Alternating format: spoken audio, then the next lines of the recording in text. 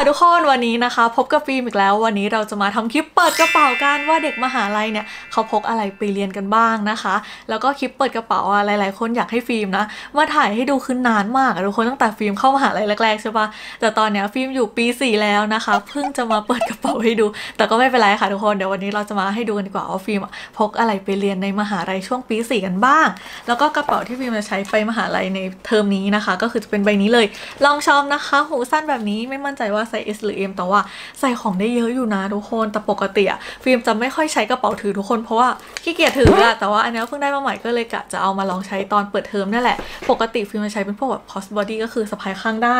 เช่นใบนี้ทุกคนเทอมก่อนใช้ใบนี้บ่อยมากก็จะเป็น Carlyn รุ่นอะไรไม่รู้อะก็คือซิป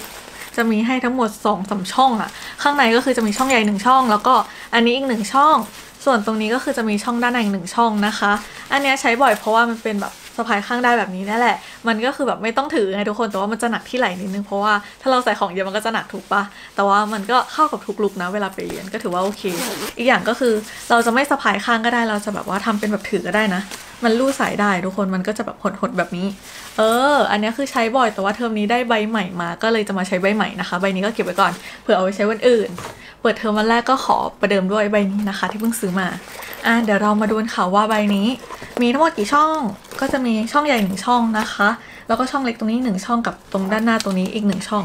เนี่ยมีประมาณนี้นะคะ แต่จริงๆคือถ้าใครใช้พวกรองชอมหรือกระเป๋าที่เป็นช่องใหญ่แบบเนี้ยบางรุ่นอะเขาก็จะมีกระเป๋าไม่ใช่กระเป๋าสิเขาเรียกว่าอะไรช่องจัดทรงกระเป๋าเหรอที่แบบว่าเขาขายตามแอปส้มแอปฟ้าแอปน้ำเงินหรือแอปอะไรอะเออที่เขาแบบเอามาใส่จัดทรงให้มันดันทรงสวยขึ้น แล้วก็มีช่องแบบเวลาระวังของมันจะได้ดูเป็นระเบียบมากขึ้นอะไรเงี้ยแต่ว่าฟิล์มอะซื้อไม่ทันทุกคนมันเปิดเทอมพอดีนะคะ เราก็เลยจะใช้ทั้งอย่างเงี้ยนั่นแหละมาเดี๋ยวเรามาเริ่มใส่ของกันเลยดีกว่า อะอย่างแรกที่ฟิล์มพกก็คือจะเป็นแมสนะคะทุกคน ก็ติดกระเป๋าไป 3 อันละกันก็ใส่ในช่องใหญ่ตรงนี้อะนี่เลยเผื่อแบบบางวิชาอาจารย์เขาเข่งไงให้ใส่แมสเรียนอะไรเงี้ยบางวิชาอาจารย์ก็ไม่เข่งก็ไม่ต้องใส่ก็ได้ ฟิล์มก็ติดกระเป๋าเผื่อไว้ก่อน ต่อไปก็จะเป็นยาดมนะคะ อันนี้ขาดไม่ได้เพราะว่าข้างมหาลัยฟิล์มทุกคนมันจะมีเหมือนโรงงานกระดูกอะเออถ้าใครเรียนมกรุงเทพรังสิตก็จะรู้ว่ากลิ่นมันแรงมากทุกคนมากับลมมากับกลิ่นฝนอะ เราก็ต้องพกยาดมนะคะให้ชื่นใจ เออ อันนี้ก็คือต้องติดกระเป๋าไว้หน่อย อะ เราก็จะใส่ไว้ในช่องเล็กด้านหน้า จุ๊บยัดเข้าไป แล้วก็จะมีเป็นกิฟต์ด้วยนะคะกิฟต์จิ๋วอันนี้ก็คือจริง ๆ มันเอาไว้ใช้ตอนแต่งหน้าใช่ป่ะแต่ฟิล์มอะก็ใช้ได้หมดนะเนี่ยเวลาเรานั่งทานข้าวแล้วผมมันตกลงมามันน่ารำคาญใช่ป่ะฟิล์มก็จะมีกิฟต์ติดกระเป๋าไว้ด้วยนะคะ เพราะว่าดูทรงแล้วน่าจะต้องใช้ต่อไปก็จะเป็น iPad อยากจะบอกว่าใบนี้ใส่ iPad ได้ทุกคนแต่ว่าเป็นไซส์ 11 นิ้วนะแล้วก็เล็กลงมากว่านั้นนะใส่ได้ 12 นิ้วไม่มั่นใจว่ามันจะแน่นกระเป๋าไหมอะอันนี้คือใส่ได้แบบรูดซิปได้ปกติเลยอะทุกคนเนี่ย อะต่อไปก็จะมีเป็นกระเป๋าตังค์นะคะ ขาดไม่ได้ค่ะ อันนี้ก็คือฟิล์มก็จะใส่เป็นเงินสดไว้นี่คือเดี๋ยวนี้บางร้านเขาไม่รับโอนทุกคนฟิล์มก็เลยต้องหัดพกเงินสดไว้บ้างนะคะ ปกติก็คือจะโอนจ่ายอย่างเดียวใช่ปะเดี๋ยวนี้บางร้านก็คือรับเงินสดเท่านั้นจ้าฟิล์มก็แบบ แล้วฟิล์มจะไปกดตังค์ที่ไหนอะไรอย่างเงี้ยเราก็เลยต้องมีติดกระเป๋าไว้บ้างนะ แล้วก็จะมีเป็นกุญแจห้อง อันนี้ก็เก็บไว้ในกระเป๋าด้วยเพราะว่าเคยมีเหตุการณ์หนึ่งที่ฟิล์มแบบว่าต้องถ่ายงานในห้องของฟิล์มใช่ปะที่คอนโดอะแล้วที่เนี้ยกุญแจไม่ได้เอามาเอามาแต่คีย์การ์ดแล้วคือ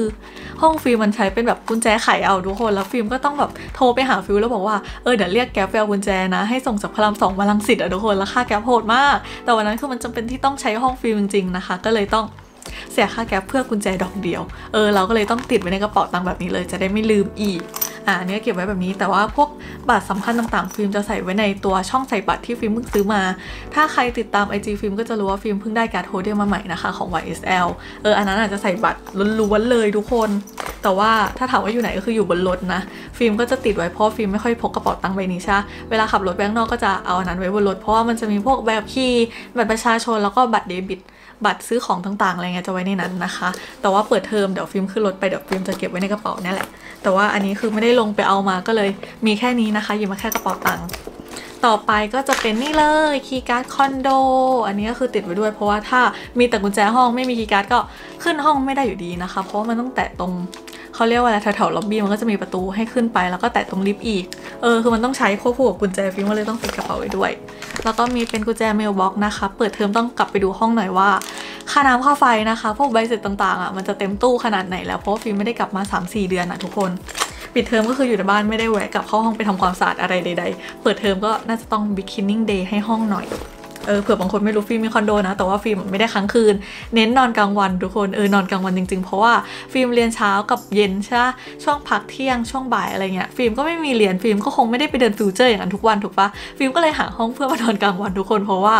ช่วงเช้ากับบ่ายมันห่างกันเยอะมากก็คือฟิล์มเรียน8 4 0ถึง11โมงแล้วต่ออีกทีก็คือบ่าย2ครึ่งถึง5โมงถูกปะช่วง 11โมงลิ้นพันละช่วง 11โมงถึงบ่ายสองครึ่งอะมันจะเป็นช่วงที่ฟิล์มพักแบบยาวๆหลายชั่วโมงมากฟิล์มก็แบบ เดินฟิวจนหงอยมั้งทุกคนถ้าเดินนานขนาดนั้นฟิล์มก็เลยเลือกที่จะหาห้องอยู่เพื่อที่จะมานอนพักผ่อนแล้วก็ค่อยกลับไปเรียนช่วงบ่ายต่อนั่นเองก็นั่นแหละคือสาเหตุที่ฟิล์มต้องมีห้องนะคะเทอมก่อนฟิล์มใช้ห้องคุ้มมากเพราะว่าเป็นอย่างนั้นอะทุกวันเลยทุกคนมีช่วงพักอย่างนั้นอะทุกวันเลย บางคนเขาก็จะแบบเออเลิก11โมงเสร็จต่อด้วยตอนเที่ยงต่อใช่ปะก็จะพักกินข้าวหนึ่งชั่วโมงแต่ฟิล์มอะเรียนอีกที่บ่ายสองครึ่งฟิล์มก็แบบไม่มีที่ไปไงก็เลยต้องหาห้องอยู่นะ อะต่อไปก็จะเป็นหวี Wet Brush นะคะ ทุกคนบอกเลยว่าคอลเลคชันนี้น่ารักมาก อันนี้เป็นน้องโฟลเดอร์จิ๋วฟิล์มก็จะเก็บไว้ในกระเป๋า คือผมเริ่มยาวแล้วไง เราก็ต้องหวีผมบ่อยขึ้นเดี๋ยวผมพันกันอะไรเงี้ยลมมันแรงอะ่ะแล้วก็มีกุญแจรถนะคะแล้วก็จะมีกระจกจิ๋วเพราะว่าเราดัดฟันบางทีเราก็ต้องตึ๊กตึ๊กตึ๊กกับฟันนิดนึงถูกป่ะเราต้องมีกระจก แล้วก็จะมีเป็นแป้งด้วยทุกคนอันนี้คือเพิ่งได้มาใหม่แต่ปกติอะฟิล์มจะไม่ค่อยใช้ตลับใหญ่ๆนะจะใช้อีกตลับหนึ่งเดี๋ยวหยิบมาให้ดู อะอีกตลับนึงก็คืออยู่ในกระเป๋าอะปกติใช้อันนี้มันจะดูเล็กกว่า แล้วก็ประหยัดเนื้อที่ในกระเป๋าแต่ว่าเนี้ยเพิ่งได้มาใหม่ก็เลยจะลองใช้อันนี้ช่วงเปิดเทอมด้วย ใส่มาเลยแล้วก็มีลิปหนึ่งแท่งนะคะ แป้งกับลิปคือต้องมาคู่กันเพราะว่าเราจะเติมทั้งวันไงหน้าซิดไม่ได้ทุกคนเดี๋ยวไม่สวยเราก็ต้องติดไว้ในกระเป๋าแบบนี้ เริ่มหนักแล้วเริ่มแน่นแล้วเราควรมีอะไรติดกระเป๋าปะนึกก่อน ตอนนี้คือมองที่โต๊ะว่าเราควรพกอะไรอีกกุญแจรถเครื่องสำอาง เงิน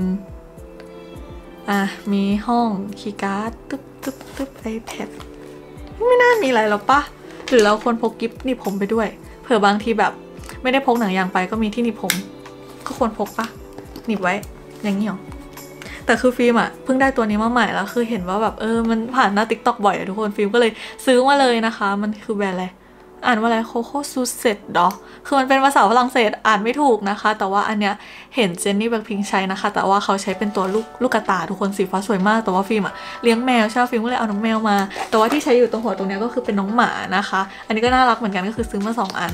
นี่เลยเห็นเขาฮิตกันฟิล์มก็ต้องมีไง เราก็เลยซื้อมาเลยนะ อันนี้เก็บไว้ในกระเป๋าละกันหนีบไว้ตรงเนี้ยบางทีฟิล์มชอบทำหลุดทุกคนเหมือนเราแบบกระแทกไปมาใช่เวลาเราถือหรือเหวี่ยงไปนู่นไปนี่อะไรเงี้ยไปขูดนู่นขูดนี่มันก็จะหลุดออกมาฟิล์มเคยทำกิฟต์หนีบผมอย่างเงี้ยหาย ตอนนั้นเดินจ๊อดแฟร์ทุกคนก็จำได้ว่าหนีบกระเป๋าไว้ ขึ้นรถมาที่หนีบผมหาย เออ อันนี้ก็คือเป็นหนึ่งอย่างที่ฟิล์มแบบไม่กล้าหนีบไว้นะคะ ก็ไว้ในกระเป๋าละกันเพราะว่าเนี้ยแพงมาก แม่รู้ราคาแม่ช็อกกับทุกคนฟิล์มก็ช็อกเหมือนกันว่าแบบตัวเองซื้อมาได้ไง เออแต่ตอนเนี้ยก็น่าจะครบแล้วแหละ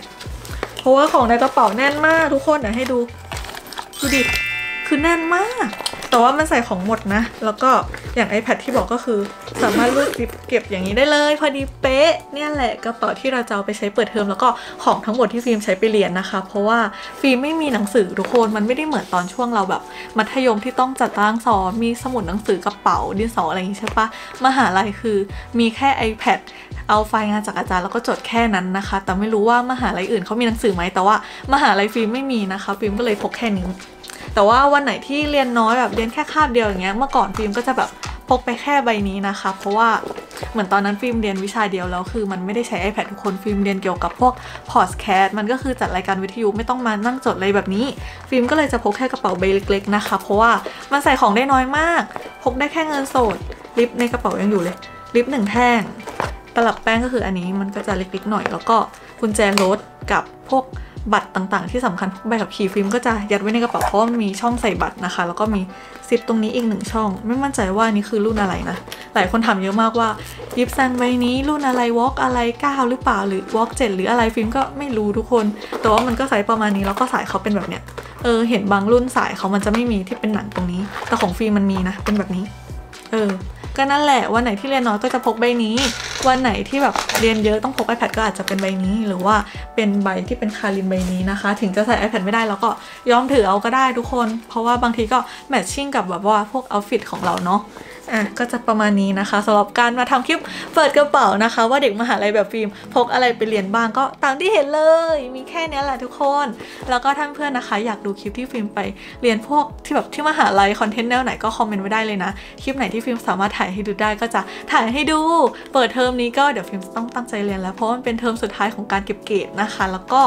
เทอมหน้าฟิล์มก็เป็นเด็กฝึกงานแล้วนะคะ ก็เป็นกำลังใจให้ฟิล์มด้วยนะคะ เป็นเด็กปีสี่แล้วทุกคนจะเรียนจบแล้วมันผ่านไปไวมาก แล้วก็ขอขอบคุณทุกคนที่กดติดตามช่องฟิล์มนะคะ แล้วก็ถ้าเพื่อนชอบคลิปนี้อย่าลืมกดไลค์กดแชร์กันด้วยละกันสำหรับวันนี้ ฟิล์มขอตัวลาไปก่อนเลยละกันบ๊ายบาย